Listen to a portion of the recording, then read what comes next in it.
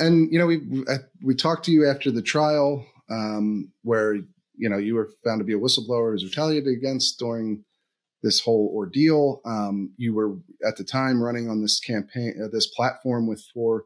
Uh, was a total of four. Well, I guess five, yes. right? If you include yeah. Buzz Mills, who's uh, who's already on the board, five people on a 76 person board. Now you all got elected, and yes. you were some of the top vote getters. I think you were the actually the second most um, of anyone who who ran this election.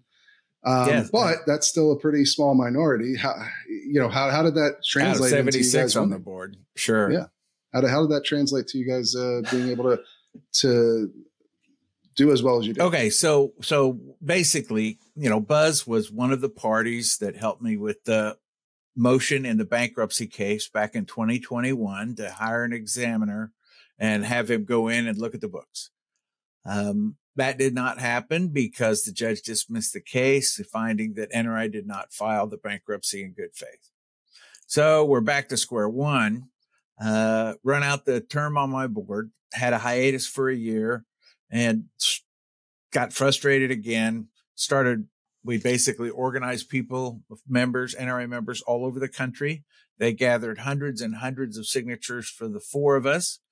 And then they were submitted and we got on the ballot. That way we did not get on the ballot by the normal route, which is the yes, nominating the committee. committee. Right. And then, and then we went out and we campaigned. You know, I was working gun shows. I went to Tulsa, the biggest gun show in the United States, handed out pamphlets. Uh, we had mailers we sent out to people we believe to be voting members of the NRA. It appears to be very successful. Um, the reality is that two thirds of the ballots cast had Rocky Marshall and my name on them. Yeah. And so that's that's pretty darn good. I was very happy with that. Yeah, and you think that sent maybe a message to the rest of the board uh, that I, they kind of took into account during this board meeting? It's very clear to me from the comments from fellow board members and the way they were ha- behaving that uh, they did, it did make an impression, and I think it made a mm-hmm. favorable one. Uh, right, this, this was a pretty pleasant weekend for me, as opposed to what they usually were. uh, yes, because you've been cursed out at these meetings before, as, as mm, I understand. Shouted down and yelled mm. at, ostracized. You know, it kind of got like middle school there for a while, but I mm. guess I'm back with the in crowd, or we but made so, a new in crowd. and so, you know, one of the interesting things to me, uh, and maybe something you can speak to here is, uh, I mean, you, you, seem pretty happy with the outcome of this election. You uh, people that were uh, put up as reform candidates against the nominating committee candidates won three of the top four uh, positions in NRA leadership, including the first vice president, second vice president, and I think most importantly, the EVP. That's the position that Wayne LaPierre used to hold.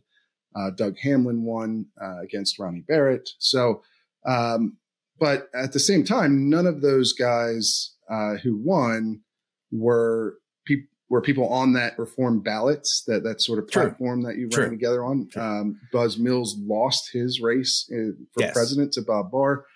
So why can you just walk people through uh, why? This, okay, let me explain how it all came about. Okay, see the three of us. Well, Rocky and I were out. We both left the board uh, in 23 at the end of the Indianapolis meeting.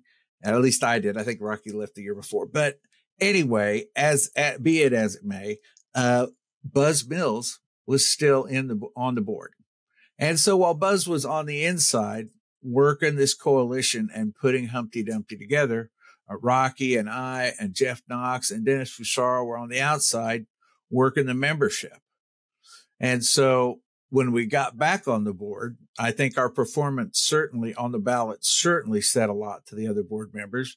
And almost universally, they said, welcome back.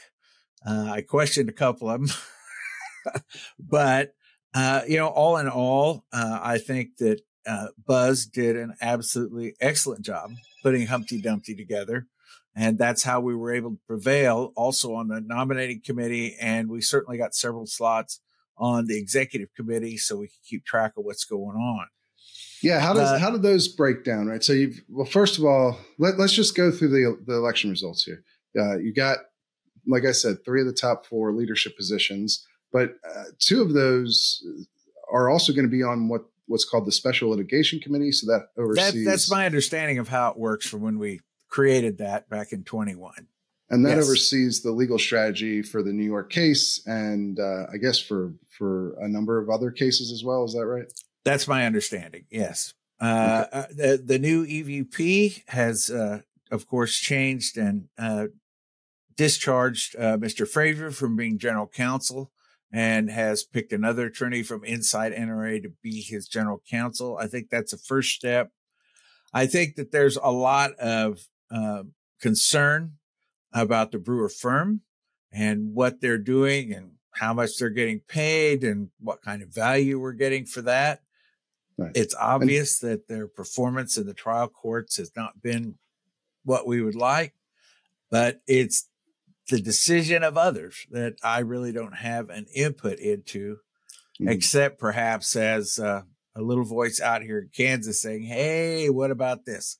So, Right. uh, you know, it's all kind of in flux right now. It, it's a big, you know, it's a great big knot that's been tied and it's going to take a little while to untie it. And we may, may, may or may not be happy with that. The clock is ticking though, because the second half of the New York Attorney General trial uh, starts supposedly on around January 15th, 16th and runs for two weeks. I think, Right. I think NRA would be better off if we could just settle that somehow rather than Hmm. go through the expense of the trial. I don't know that um, we could get that done without other counsel.